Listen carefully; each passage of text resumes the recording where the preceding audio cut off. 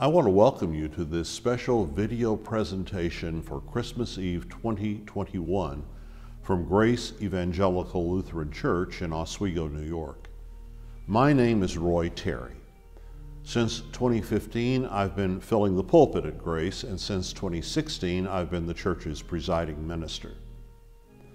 Now, this is our second Christmas Eve service to be presented in this way as a result of COVID. And I, like you, hope and pray that it will be the last. I miss being able to meet in person on this special night of worship. I, I miss taking part in its traditions. I miss seeing so many who come, often from far away, just for that time together. In a special way, Christmas Eve at Grace is a particularly eloquent expression of the congregation's closeness and love. Now, as I've been preparing this video, I've asked several of our members to reflect on the service and what it means and has meant to them through the years. You'll be hearing from them from time to time during our presentation. One thing I've heard over and over again from them is how this service has long been a high point of the year for them and for their families. The aspects of the service that really uh, make me feel Christmas are the ones I think that started when I was a child. And I would come into this quiet place and see all of these people that I knew. And we would sit and you would hear the beautiful music and the, the story of the baby Jesus and we could hear it over and over again. I was obsessed as a child with the manger scene and the pieces and the participants of that story. And every time I hear that story, I can see those little plastic pieces of my mother's manger scenes that I played with for many, many years. Um, I also, it's the last part of the service when we turn out the lights and everybody is quiet and we sing Silent Night. Uh, that, I think, fills me with the kind of feeling that I, I feel Christmas is.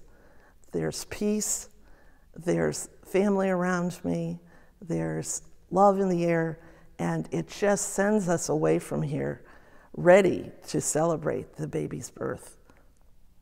By the way, Grace's former long term pastor, Bruce Schrader, will be presiding as we celebrate communion, and he'll be singing in German Silent Night near the close of the service. The annual Christmas Eve service that Grace Lutheran treasures so much was not always like it is today. As recently as the 1970s, it lacked many of the features that have made it so special. Many of those were introduced by Pastor Bruce early in his long tenure with the congregation. I would say that in the beginning, and when I first came, um, Christmas Eve was a service um, similar to a Sunday worship, only it was centered in Christmas. The building was lighted all the time, and um, I'm not sure if we had Holy Communion at that service or not. But as the years went on and I developed the service, um, when people came to worship that night, the altar area would be in darkness, the nave lights would be dim, the um, Advent wreath would be lighted. And when we were ready to begin, I would walk in and go to the back, and all of the lights would be put out. And then a reader from the balcony would begin reading the words from the Gospel of John. And as that person read, then someone bearing a candle, the Christ candle, would walk up the middle aisle and as they were walking, there were acolytes on either side, and they would light the candles in the sconces as they came. And when the candle bearer got to the Christ, to the Advent wreath, he placed the candle and then put out the Advent candles with the, un, with the symbolism that the prophecy had been fulfilled. And that would begin the service.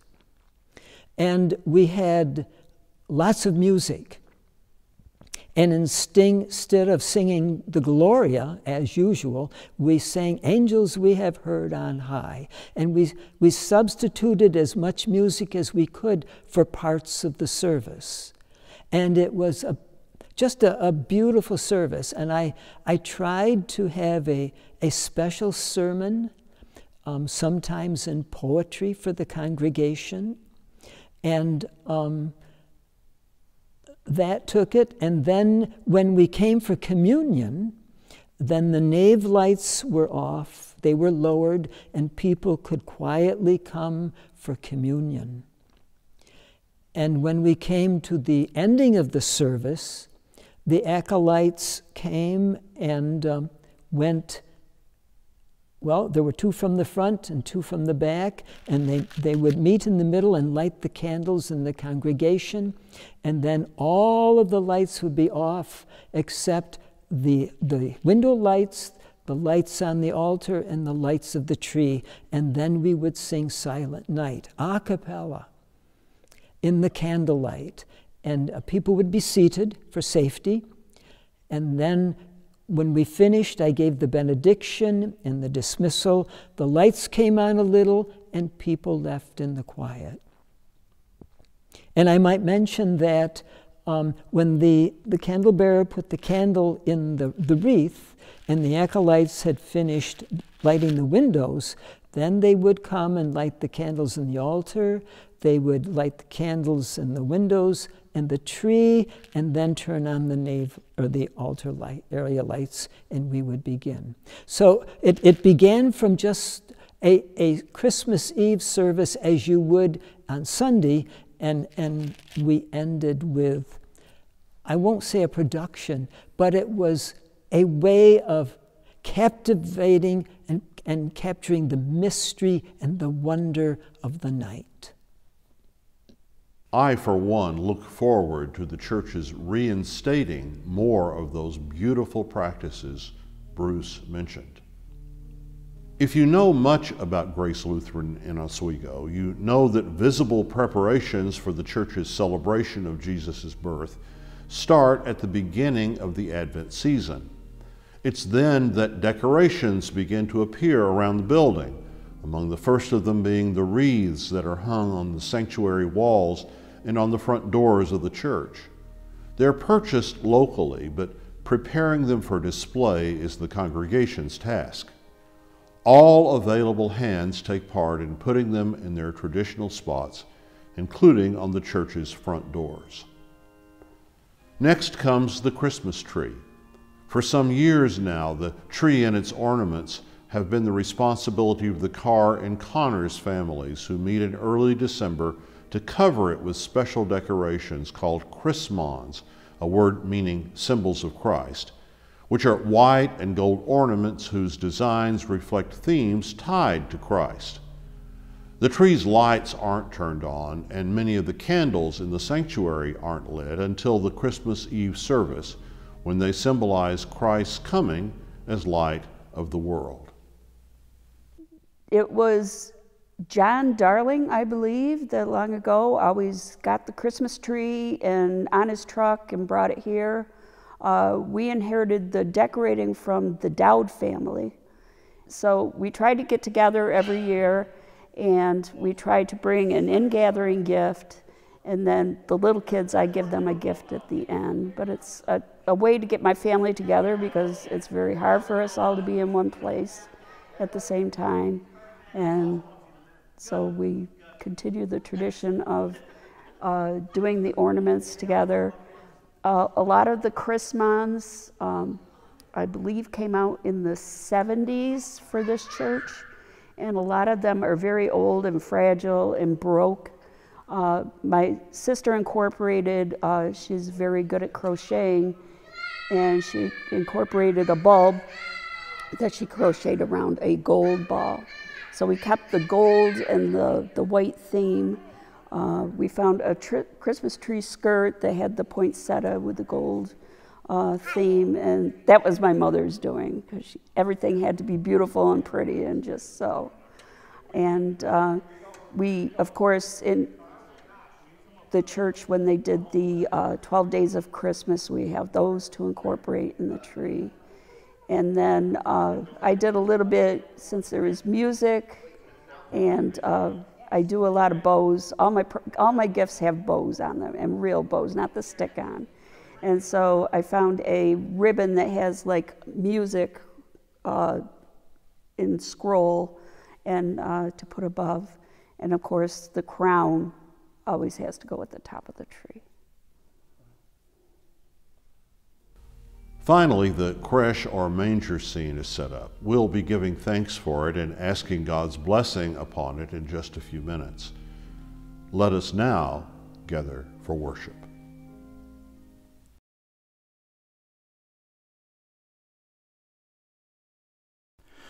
Many ages from the time when God created the heavens and the earth and then formed man and woman in his own image, long after the great flood, when God made the rainbow shine forth as a sign of the covenant. 21 centuries from the time the promise was given to Abraham and Sarah, 13 centuries after Moses led the people of Israel out of Egypt and Miriam danced in freedom. 1100 years from the time of Ruth and the judges.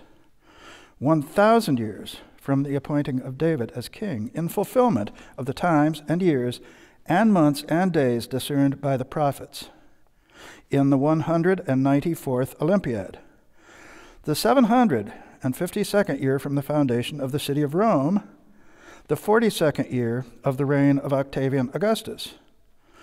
While the whole world enjoyed a span of peace, Jesus Christ, eternal God, Son of the eternal Father, desiring to sanctify the world by his most merciful coming, being conceived by the Holy Spirit, and nine months of growth in the womb of his mother, now in our own times is the nativity of the Lord Jesus Christ, God made flesh.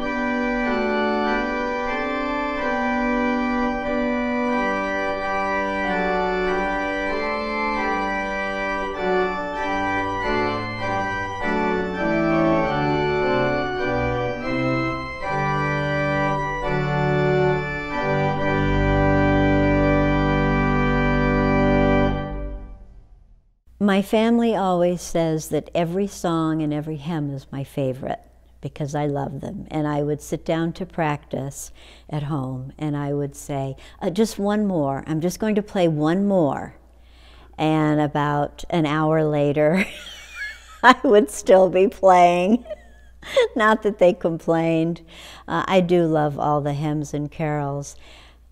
I, I, I would have to choose O Come All Ye Faithful um, I can't even express the thrill of playing that on Christmas Eve.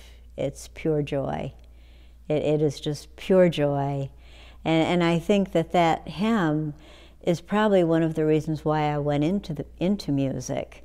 Um, I sang in a chorus in eighth grade, and we processed into the auditorium singing in Latin, Adeste Fidelis, and it was glorious. And I'll always remember that as being such a special moment, and it's remained special ever since. The grace of our Lord Jesus Christ, the love of God, and the communion of the Holy Spirit be with you all. God of every nation and people, from the very beginning of creation, you have made manifest your love. When our need for a Savior was great, you sent your Son to be born of the Virgin Mary. To our lives, he brings joy and peace, justice, mercy, and love. Lord, bless all who look upon this manger. May it remind us of the humble birth of Jesus and raise our thoughts to him, who is God with us and Savior of all, and who lives and reigns forever and ever. Amen. Let us pray.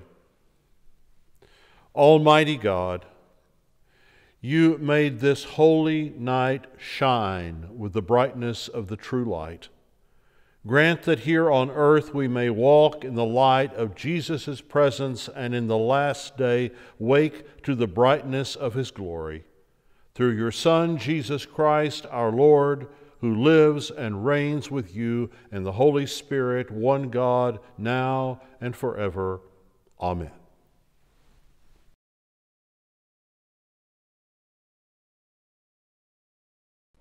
Our first reading is from the ninth chapter of Isaiah, verses 2 through 7.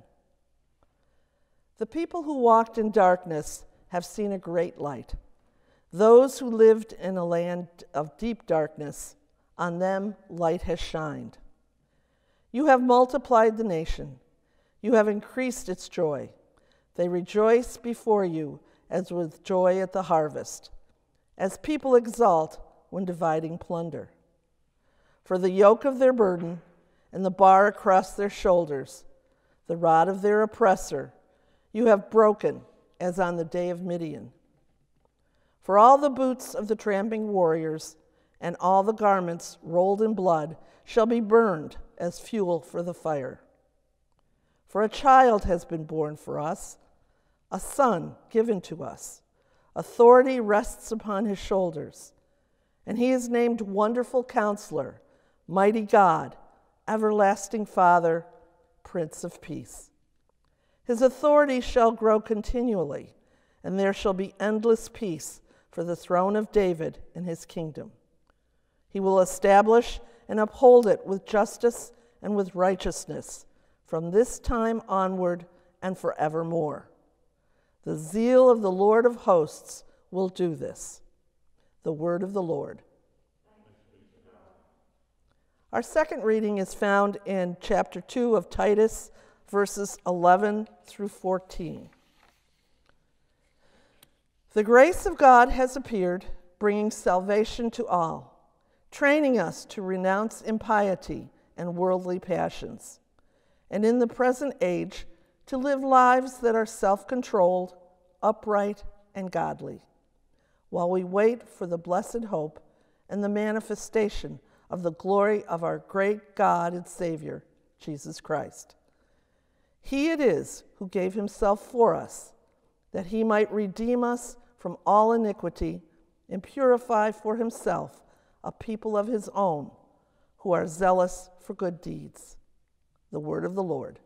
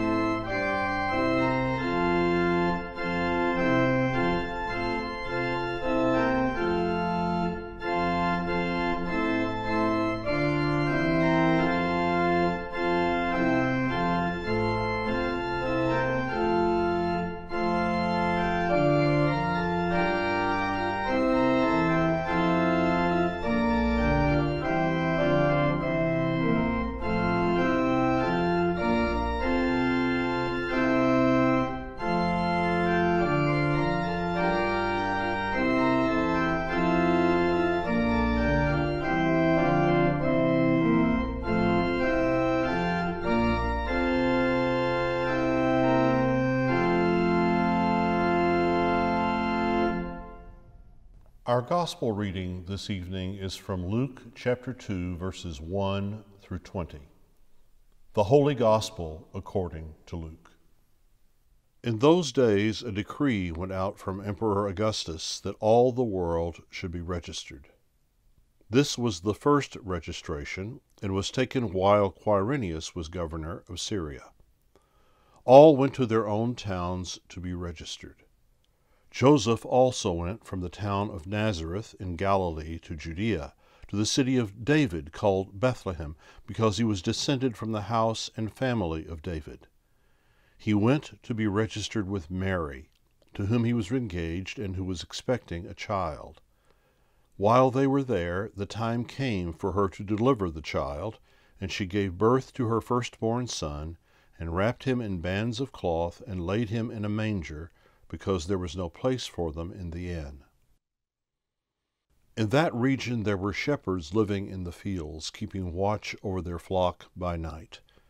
Then an angel of the Lord stood before them, and the glory of the Lord shone around them, and they were terrified. But the angel said to them, Do not be afraid, for see, I am bringing you good news of great joy for all the people. To you is born this day in the city of David a Savior, who is the Messiah, the Lord. This will be a sign for you. You will find a child wrapped in bands of cloth and lying in a manger. And suddenly there was with the angel a multitude of the heavenly host, praising God and saying, Glory to God in the highest heaven, and on earth peace among those whom he favors. When the angels had left them and gone into heaven, the shepherds said to one another, Let us now go to Bethlehem and see this thing that has taken place, which the Lord has made known to us. So they went with haste and found Mary and Joseph and the child lying in the manger. When they saw this, they made known what had been told them about this child, and all who heard it were amazed at what the shepherds told them. But Mary treasured all these words and pondered them in her heart. The shepherds returned, glorifying and praising God for all they had heard and seen, as it had been told them.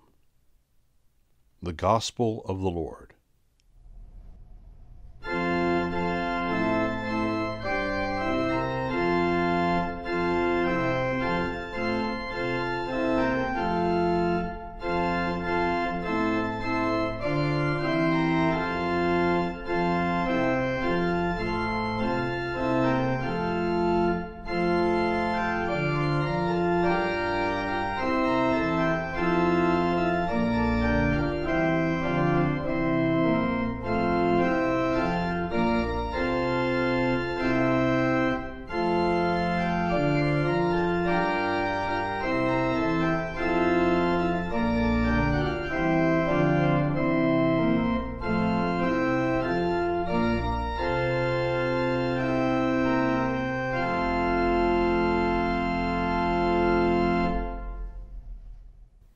True worship has been called a kind of liminal experience.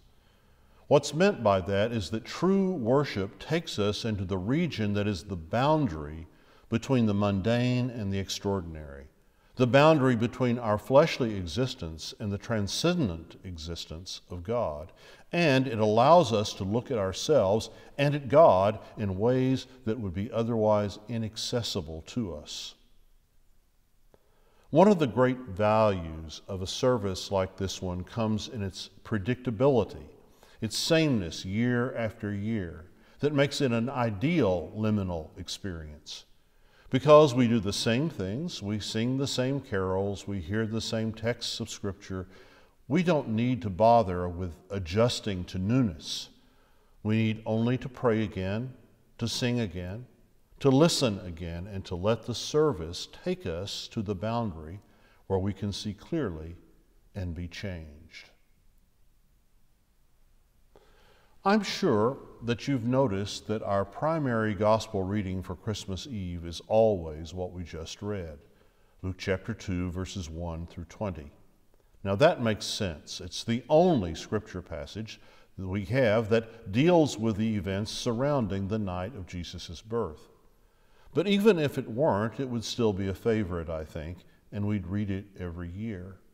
It's a beautiful story with beautiful imagery, and we can connect with it because it rings so true to us as it underscores just how unlikely and maybe chaotic the circumstances of Christ's birth must have seemed to everyone who was involved.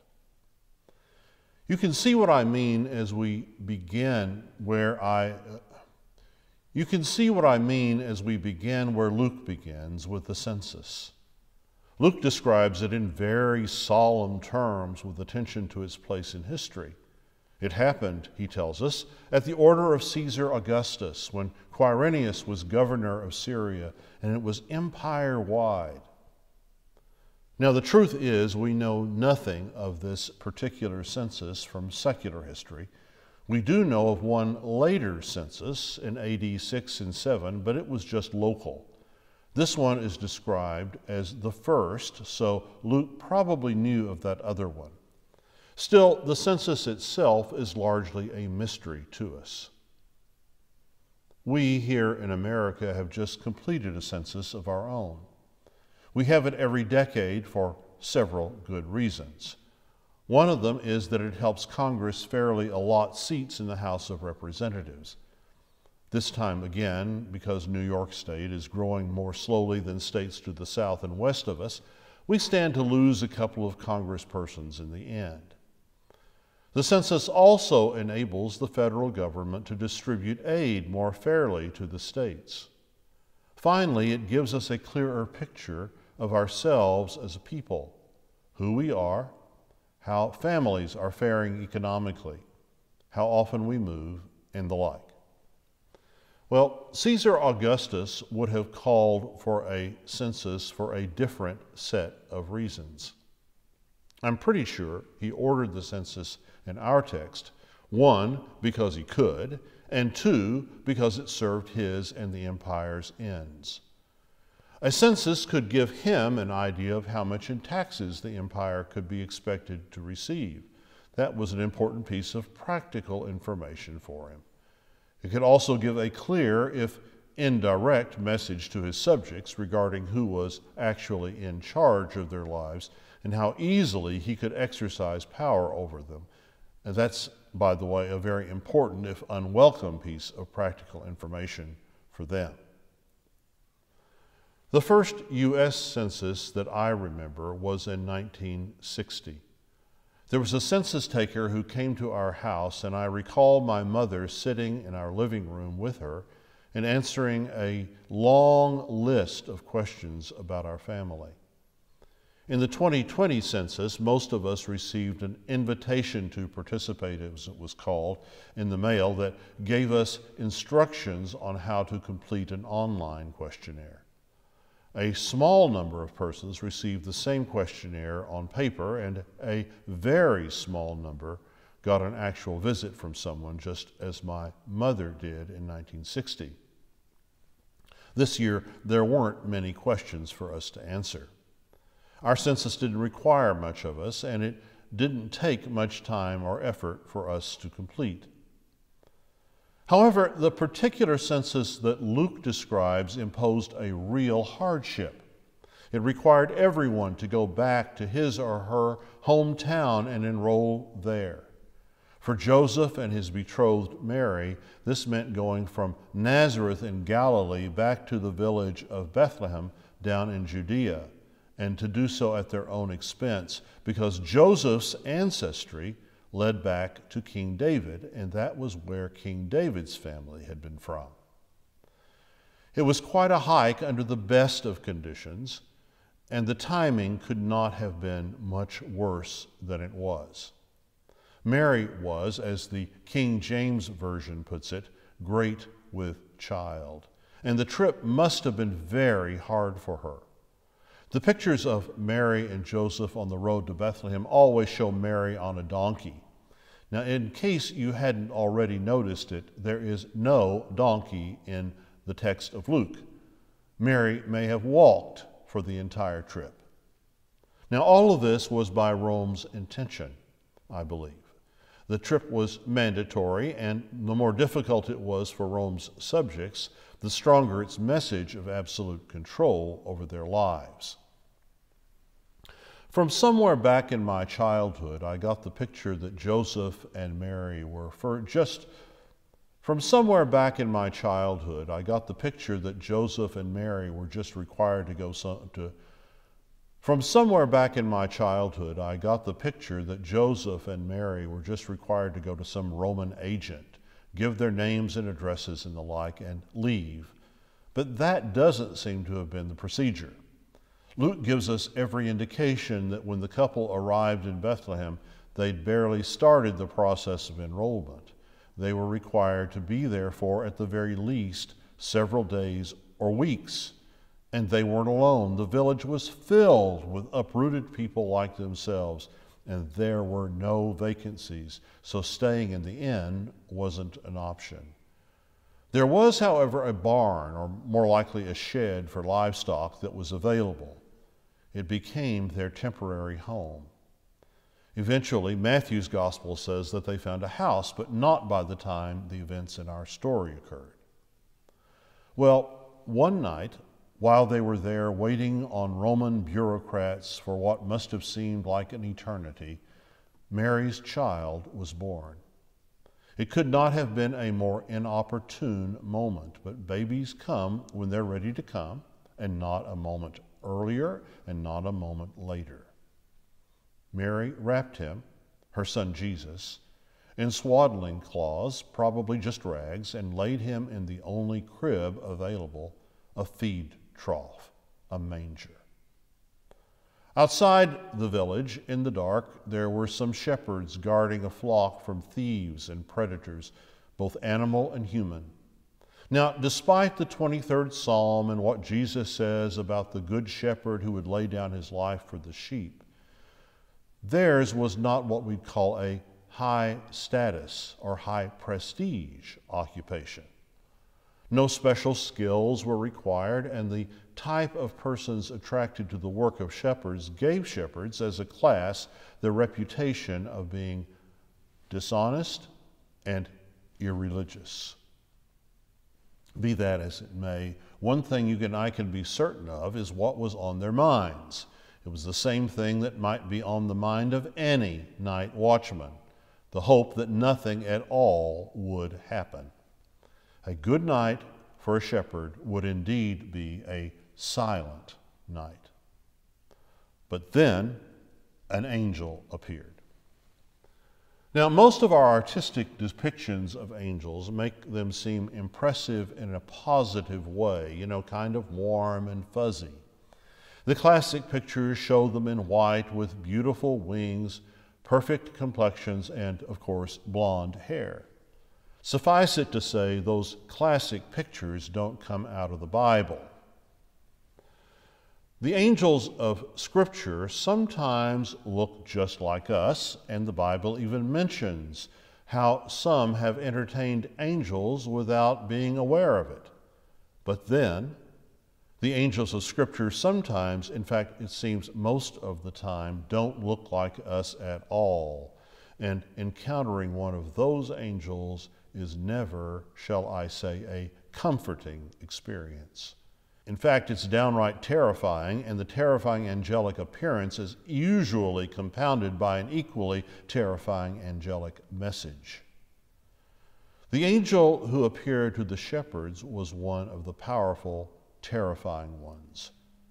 But his, maybe I should say its, because angels are genderless, his first words to them were, do not be afraid, for see, I am bringing you good news of great joy for all the people.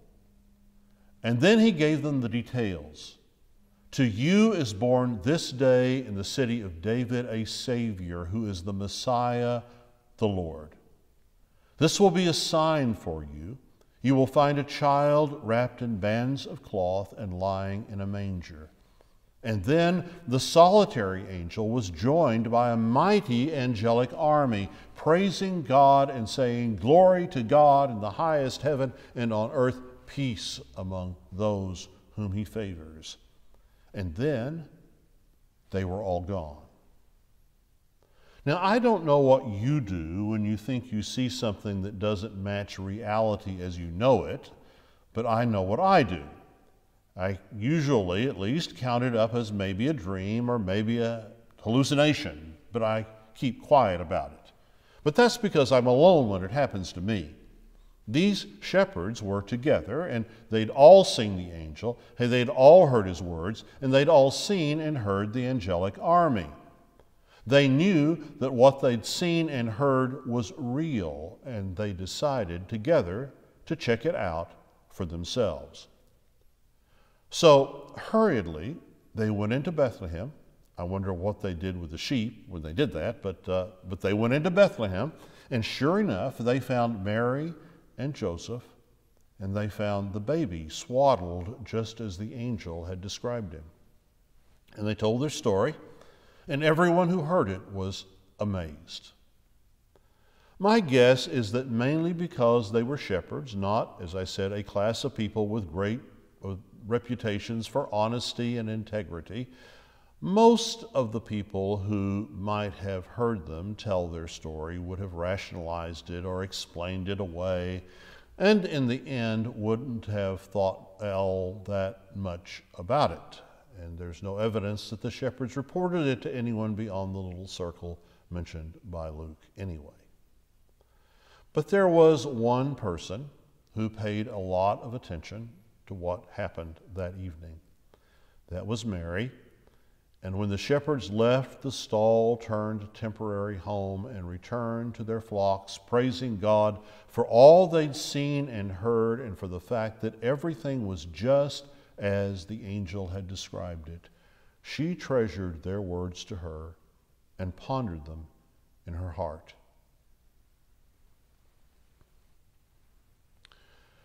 Tonight, like the people we read about in Luke's account, we find our lives largely controlled by factors and by people who use their power in ways that we can only submit to. And so, like Mary and Joseph, we often find ourselves pressed and compelled to do what we don't want to do. And yet, with them, we find God's purposes being worked out through even those events and situations. And we see His will, His hand at work through us, in us, and for us. Tonight, by our presence in this place, we celebrate with the shepherds the good news of the Savior, good news that has been proclaimed, surprise of surprises, even to us. And like the shepherds, together we seek Him, and finding Him, we give God praise for the wonderful gift He has given us. And we rejoice that He has made Himself known even to us through a beautiful child who grew to become the man who would give his life for our redemption. Tonight, with the angelic army, we find our hearts filled with song, and in our hymns and carols, we give glory to God and declare his peace with those whom he favors. And tonight, with Mary, we pause and we ponder what God has done and what the coming of the Messiah means and will mean for us and for all. May God bless each one of us at this special moment. May He fill us with a sense of His holiness, His grace, His presence, and especially His love. Amen.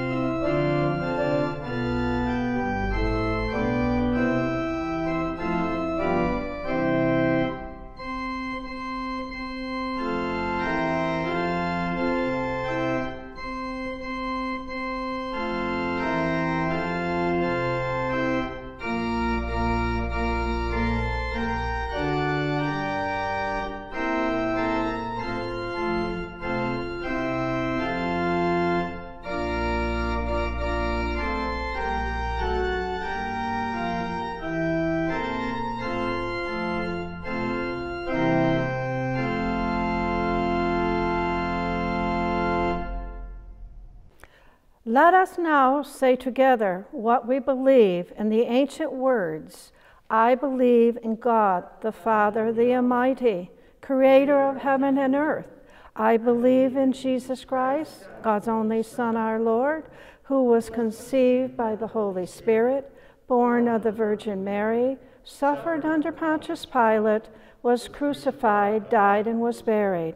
He descended to the dead. On the third day he rose again. He ascended into heaven. He is seated at the right hand of the Father and will come again to judge the living and the dead. I believe in the Holy Spirit, the Holy Catholic Church, the communion of saints, the forgiveness of sins, the resurrection of the body, and the life everlasting. Amen. Gathered with all who seek the Christ child, let us pray for the church, the world, and all who are in need. Wonderful counselor, on this holy night, your church throughout the world celebrates the Word of God being born among us. Endow your church with a zeal for sharing your love and grace with all. Hear us, O God. Lord of hosts, the heavens are glad the earth rejoices, and the trees sing for joy at your coming. Grant us wisdom to care for your creation in ways that benefit all of your creatures. Hear us, O God. Prince of Peace, your grace has appeared and brings salvation to all. Bring healing to the people and nations divided by violence. Direct the leaders of the nations so that in self controlled, upright, and godly living they may work toward peace. Hear us, O God. Mighty God of mercy, you come among us as a vulnerable infant. Protect all in need, those without homes or caregivers, those who grieve, all who are hungry, and all who are ill, especially those whom we name in our hearts. Hear us, O God. Gracious God, we praise you for gathering us tonight to worship in holy splendor. Direct our worship, fellowship, and service so that our lives and the Christian witness may be pleasing to you. Hear us, O God. Into your outstretched arms, O God, we commend ourselves and all for whom we pray, trusting in Jesus Christ, the light and life of the world. Amen. Even though we're physically separated, through the love of God and the power of His Spirit, we are united by faith and fellowship and forgiveness. So let us now, as Christ's people, extend to one another the peace of Christ. The peace of Christ be with you always.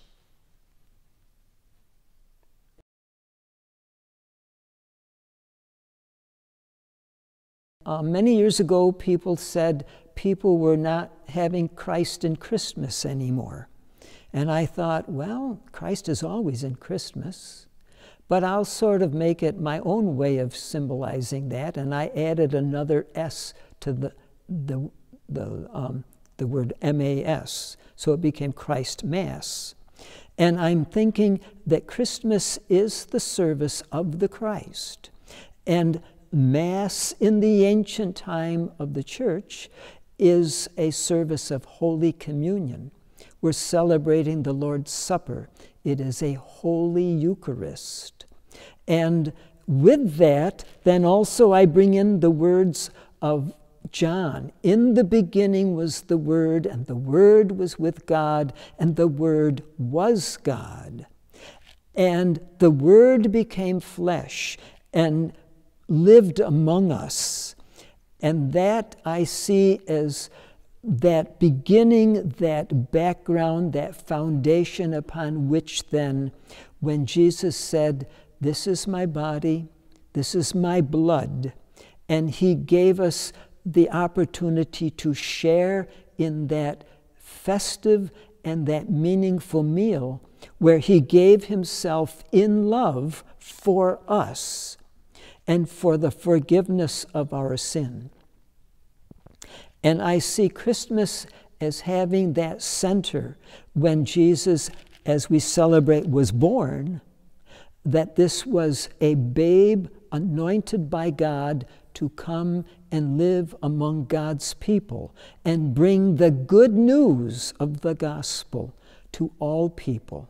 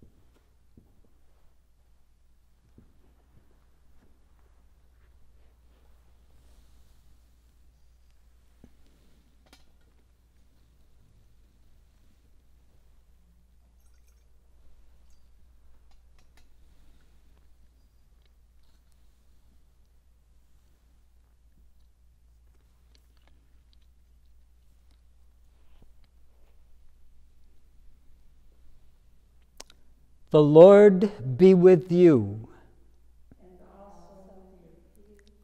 Lift up your hearts.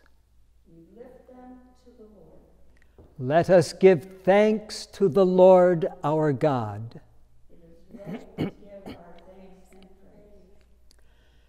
It is indeed right, our duty and our joy, that we should at all times and in all places give thanks and praise to you, Almighty and merciful God, through our Savior, Jesus the Christ.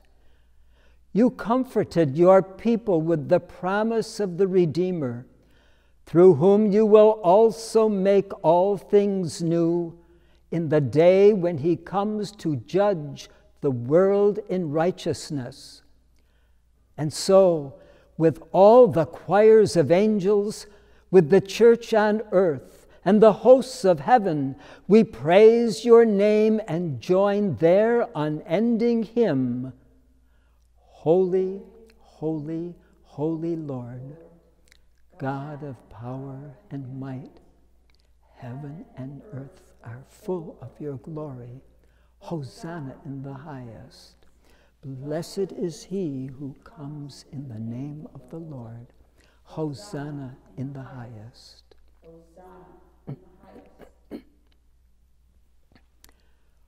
Holy One, the beginning and the end, the giver of life, blessed are you for the birth of creation. Blessed are you in the darkness and the light. Blessed are you for your promise to your people. Blessed are you in the prophet's hopes and dreams. Blessed are you for Mary's openness to your will. Blessed are you for your Son Jesus, the Word made flesh.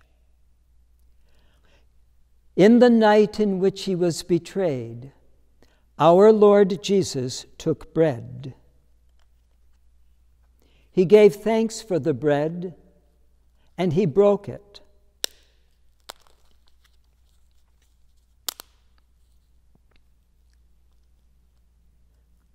And he gave it to his disciples, saying, Take and eat. This is my body, which is given for you. Do this for the remembrance of me.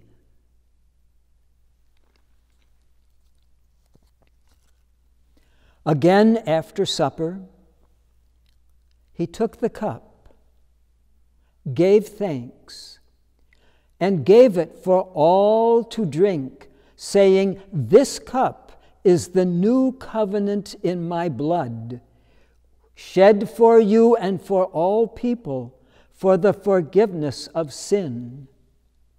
Do this for the remembrance of me.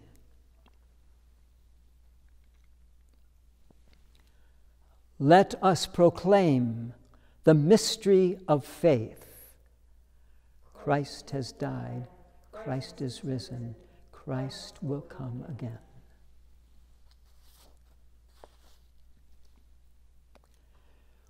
With this bread and cup, we remember your word dwelling among us, full of grace and truth.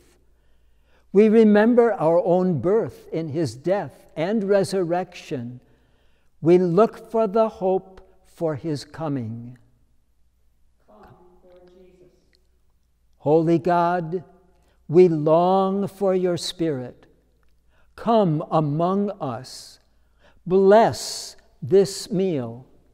May your word take flesh in us. Awaken your people Fill us with your light. Bring the gift of peace on earth. Come, Holy Spirit. All praise and glory are yours, Holy One of Israel, Word of God incarnate, power of the Most High, one God, now and forever. Amen. Lord, remember us in your kingdom and teach us to pray. Our Father, who art in heaven, hallowed be thy name. Thy kingdom come, thy will be done, on earth as it is in heaven. Give us this day our daily bread, and forgive us our trespasses, as we forgive those who trespass against us and lead us not into temptation, but deliver us from evil. For thine is the kingdom and the power and the glory forever and ever. Amen.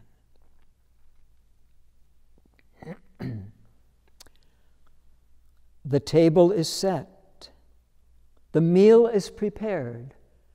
Come to the Christ banquet, feast on God's gift of grace.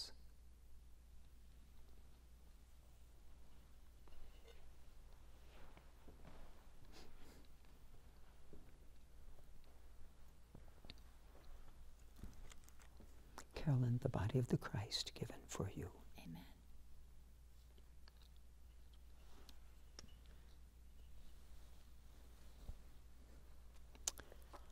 The blood of Christ shed for you.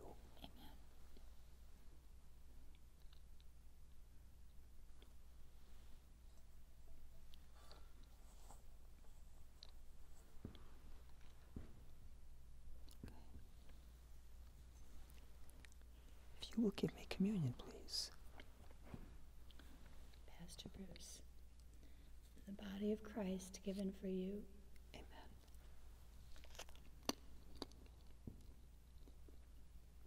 The blood of Christ shed for you.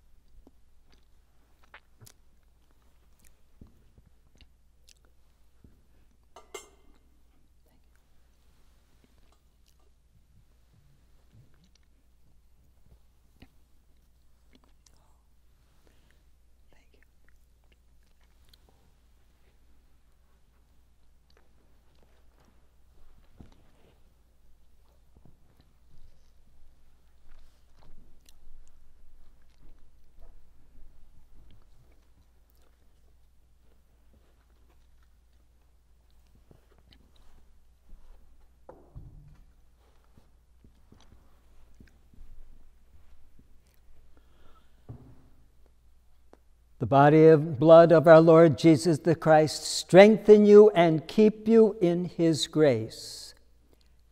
Amen.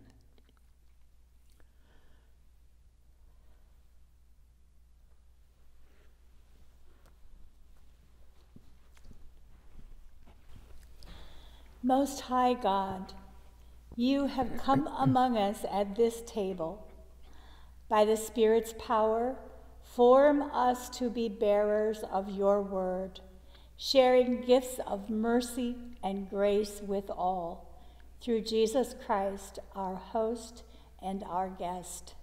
Amen. Amen.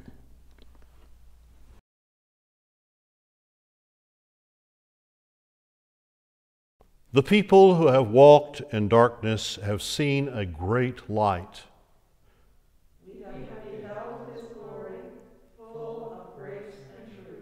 In the beginning was the Word. And the Word was with God, and the Word was God. In the Word was life. And the life was the light of all people. The light shines in the darkness, and the darkness has not overcome it. Stille Nacht, heilige Nacht, alle schläft, einsam wacht, nur das traute, hochheilige Paar. Holder Knabe im lachenden Haar, schlaf in himmlischer Ruhe, schlaf in himmlischer Ruhe.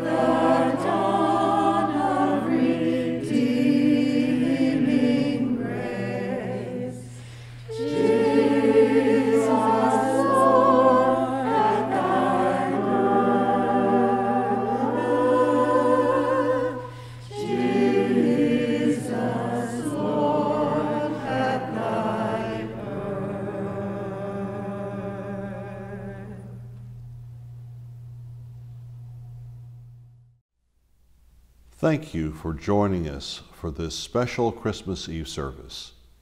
Although Grace Lutheran Church is not meeting in person on Christmas Eve, we will be assembling for worship at our regular time, 9:30 a.m. on Sunday, December 26th. Our service will include a special time for our singing of carols and hymns of the season, and we'll be celebrating the Lord's Supper as well. In case you were wondering, our members are vaccinated, are masked, and are careful to maintain social distancing. We do hope you can be with us. May God bless you in this season and always.